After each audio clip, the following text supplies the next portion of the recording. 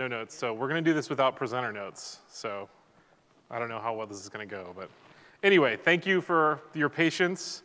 Uh, my name is Rick. I'm here with my esteemed colleague Ray. Uh, we work on the engineering team at Segment. We're going to talk about how we saved a ton of money migrating from Aurora, which is nice but expensive, to FoundationDB, which is quite efficient and also nice. I'm going to talk about a few things. First, we're going to talk about what Segment does, since uh, that seems to be a question many people have. Uh, we're going to talk about the use case of identity resolution. We're going to talk about the data model we use on top of FoundationDB. Then Ray is going to talk about uh, how FoundationDB saves us money, um, how we got to production, and some potential future use cases for FoundationDB at Segment. So what is Segment? Segment is a platform that you use to instrument uh, your mobile apps, your websites, uh, to get data from those about how your customers are using those products and forward them through Segment to standardize them, to make sure they're clean of PII, and to forward that information onto downstream analytics tools, A-B testing tools, mail campaign management tools, lots of stuff. Uh, so the idea is Segment delivers these amazing customer experiences. Uh, this is common. We see people using tools. They connect things all over the place. There's a lot of inconsistency. Uh, data is going to the wrong place. Uh, it's, it's full of stuff like PII where it doesn't need to be. Um, you may recognize some logos here. I hope that this isn't offending anybody for, for some reason. Uh, we call this, and we call this CDI, which is Customer Data Infrastructure. Now this is kind of a, you know, we have a few slides that are kind of from our marketing team. Uh, but they help kind of illustrate like what we do because it's kind of complicated. Um, so the idea is we provide this single point of customer understanding and action. Uh, we help you synthesize your data. We help you standardize it, so clean it up, make sure it's all in the same, same format, um, and then collect all that from various endpoints, from your, the Roku box sitting on top of your TV, um, and then power all the same tools from that same data. This is kind of a slide. You can kind of see this, is, this has nothing to do with actual reality. This is uh, just how the thing works conceptually. Data flows from the sources. We clean and synthesize it and push it out to destinations. So this is kind of a timeline. This is only really inserted here to kind of give you an idea of where we are relative to uh, FoundationDB's open source release in 2018, which is where we started to really be interested in using FoundationDB. So around the time that we launched this product called Personas, you see in 2017, we built this thing on top of Aurora, and then we started to look at FoundationDB afterwards. So what is identity resolution? This is the use case for FoundationDB at Segment. It's kind of in the center here. Uh, what we do is we try to build profiles of users that are, that are uh, using our customers' products. Uh, and that often means that they have various identities across the product that we want to unify into a single picture. And so what we do is we build an aggregated graph of data associated with a unique user. And this helps simplify analytics and provides a unified view uh, in your downstream tools. So a common problem you might see is a user go goes to a website or opens an email, and then they're redirected to a website, and all we know about you is some random ID we've generated and given in your cookie. So you can see this uh, anonymous ID. You might have opened an email, and uh, through the data that we collect over time, we're able to basically build a unified ID. You may log in and you may complete a uh, transaction, and all of those events have different identifiers associated with them. And the goal is to basically provide a unique uh, ID that connect, connects all those other identifiers together. So we do this using two different types of data, one we call mappings and one we call merges. And a mapping is what we do to connect an external, what we call an external ID, like an email address or a database ID, um, various other things, um, to what we call a segment ID, that universal ID. Uh, so right here in the example, these external IDs would be this user ID, 8Y, et cetera. Uh, the email is another external ID, sloth at segment.com, and we're trying to map those all to uh, this universal ID, use123. Now this comes with a problem, which is that we generate these new IDs, these new quote unquote universal IDs all the time, and we want to be able to at a future time merge those together uh, when we realize they're actually connected via uh, some other element of data. So that was what we call a merge. Now let's talk about what this actually looks like on top of Foundation DB. So we don't use any real uh, mapping layer.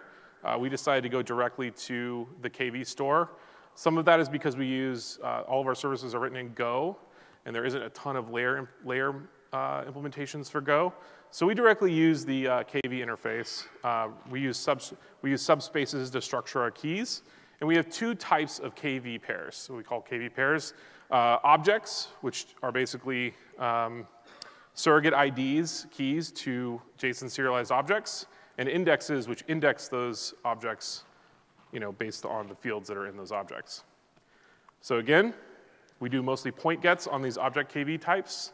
Uh, value is a JSON serialized object, and when I say surrogate key, I mean just a generated key we use that doesn't really mean anything outside of our system.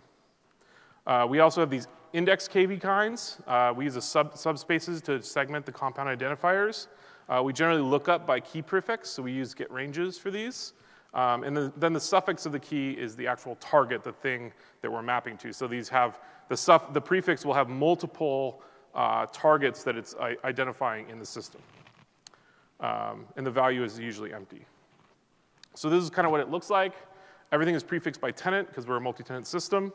Uh, this is one of them, might be an identifier type to an identifier. This would be a range prefix, and it's connected to this mapping ID uh, JK, J2, LK, et cetera, garbage. Um, so let's talk about this first type of data, which is mapping data.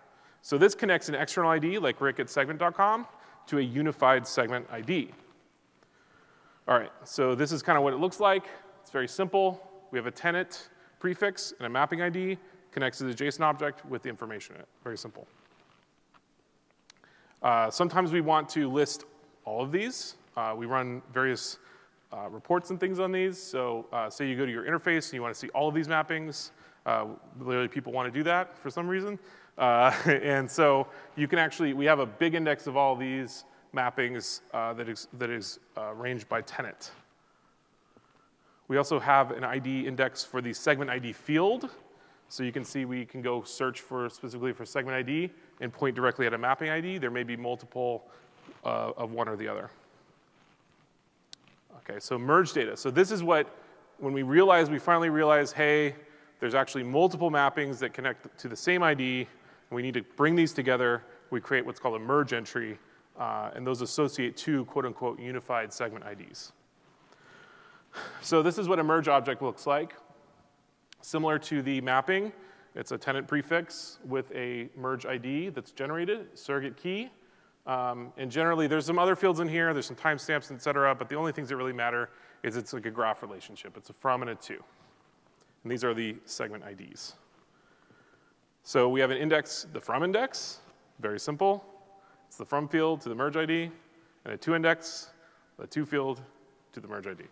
Very straightforward. All right, now I'm gonna go to my friend Ray, and he's cool. gonna explain the rest of the gory details of the system. Thank you, Rick.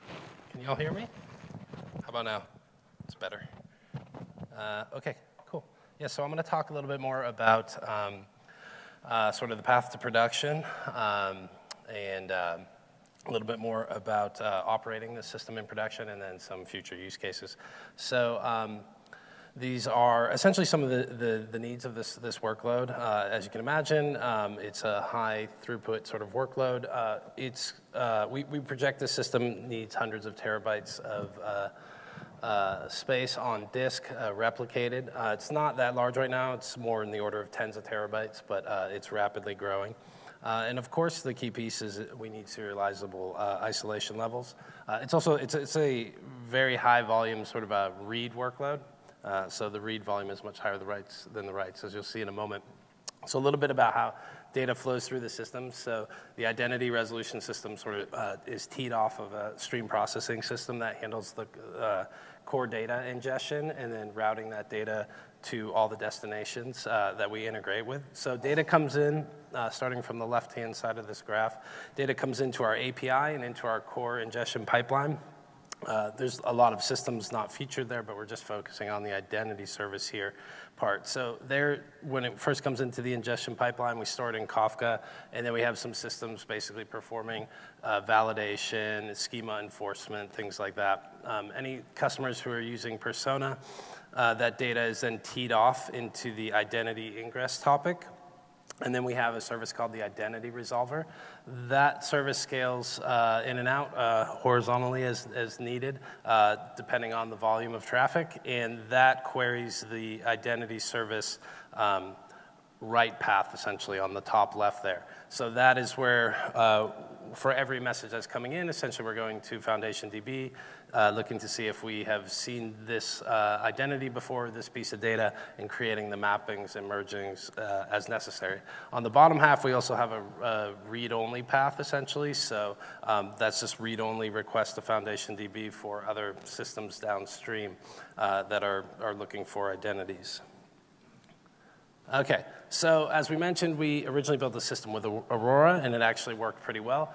Um, there was there are some uh, nuisances for the developers, uh, and Foundation DB is actually a bit better. Uh, like one of the problems is you might do a read from a read replica, uh, and then determine, oh, I need to go insert a record. Then you go to the master and go to insert something, and another message had already come in and inserted that. So then you have to go back. It was sort of a bit of juggling, but Aurora worked. But um, the primary problem was uh, the cost.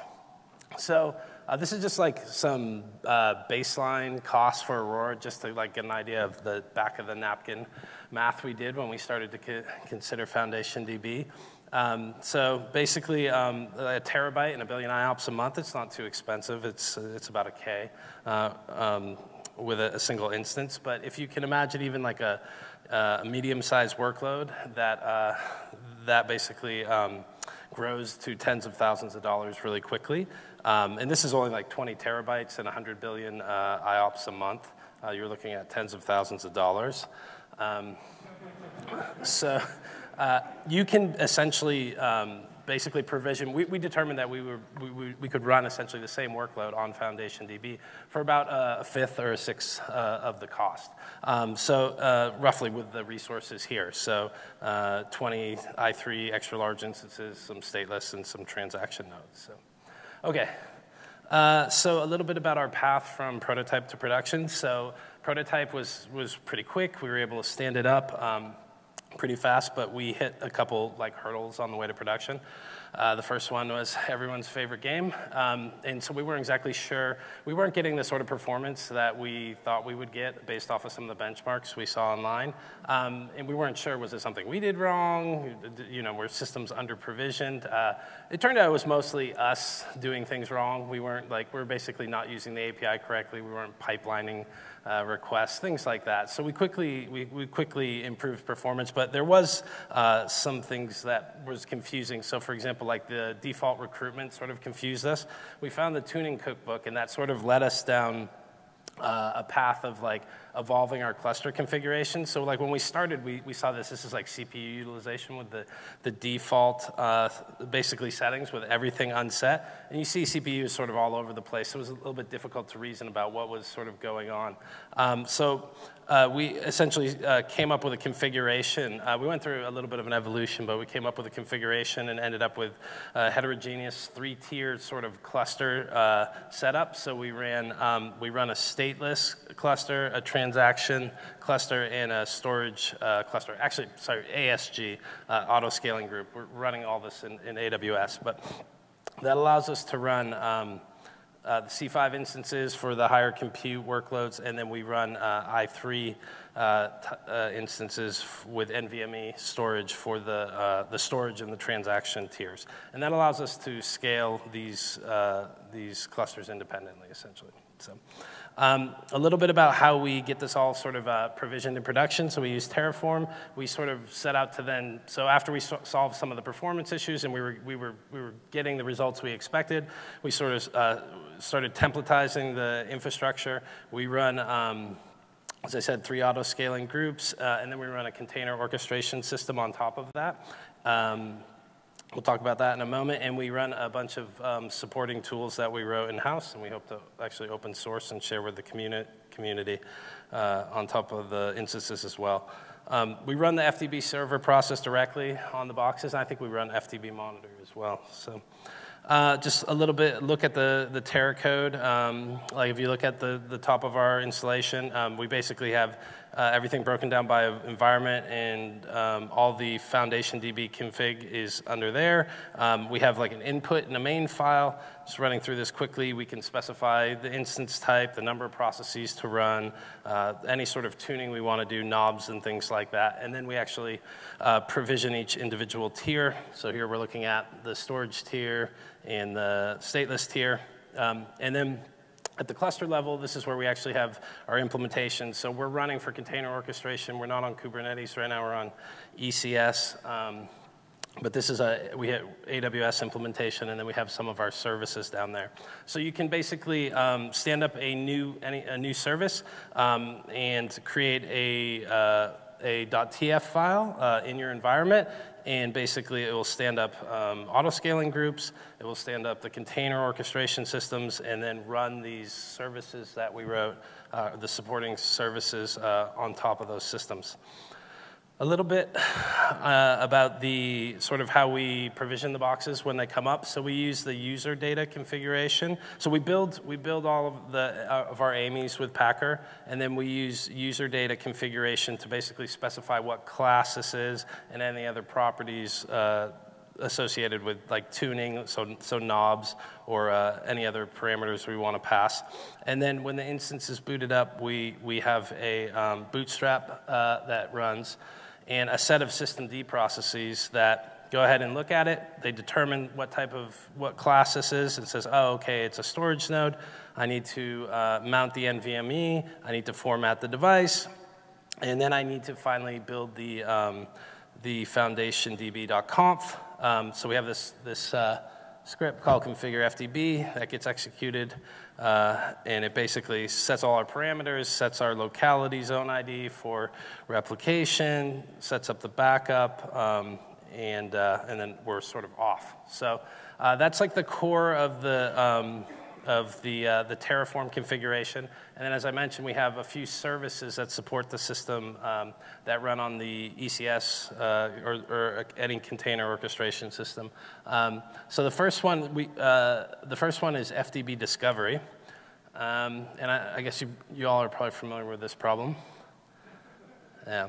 So so uh, basically what FDB Discovery is, is it's just a small service that, uh, that runs on all the clusters. Uh, it's fronted by a load balancer, and you can curl that service and basically get back the fdb.cluster config, pop it in fdb.cluster, and uh, add your node to, to uh, your cluster.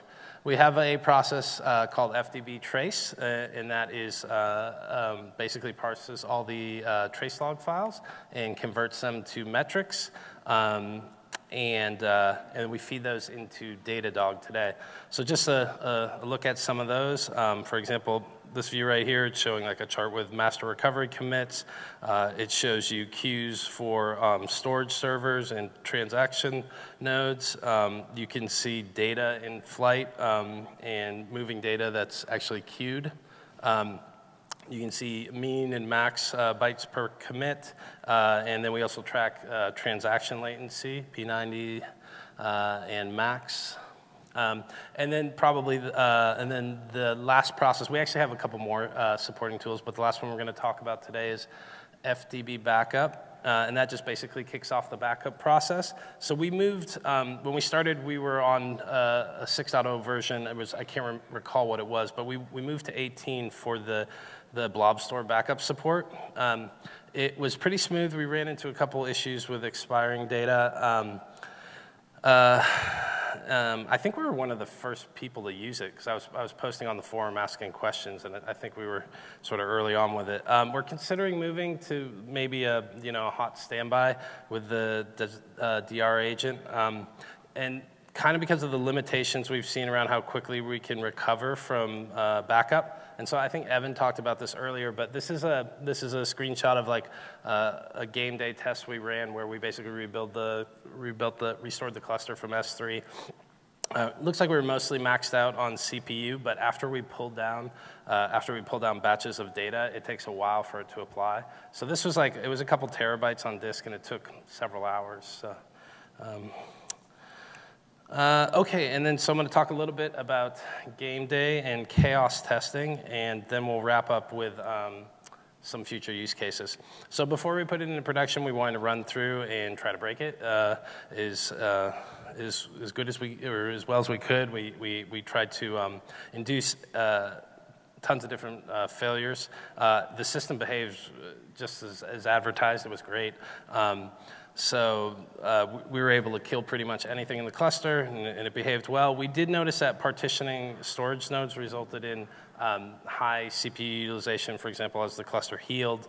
Um, we also created a scenario where the performance dropped by basically exhausting a disk, but we did that sort of not through the Foundation DB path. We just basically allocated a bunch of space on a drive, and so uh, we spoke with engineering, and they're like, "Yeah, don't do that." So, so this is an example, for example, of like losing a losing a storage node during game day, and we're like, "Okay, well, the cluster's healing, healed pretty quick. We, saw increase in latency, uh, but uh, our workload is the, data is in Kafka, so we can handle a little bit of latency, and then we just burn it down quickly after. And this was the case where we uh, essentially uh, exhausted storage on a node, and then once the, the node basically handed off data, uh, the system recovered. So other than that, it's been, um, uh, you know, it's been great. Um, it's fantastic. Uh, it's been really sort of eh, hands off as far as uh, operational stuff. It's, it's been really good. So, uh, some ongoing issues we have though, and I think these were mentioned today. One of the, the data distribution uh, unpredictability. Um, I think it's probably predictable, but I'm not exactly sure how it's behaving. So maybe just some more, uh, you know, observability or some metrics associated with that would be great. Um, we need to internally consider three data hall. We're running across three AZs and we're doing triple replication now, and I think that's really ideal if you have five locality uh, zones. So I think three data hall would be better for us when we're running with three AZs. Uh, and then I'd like to see maybe some, um, some ability to throttle things like healing or things like that if I want to trade off uh, latency for recovery time for healing time or things like that.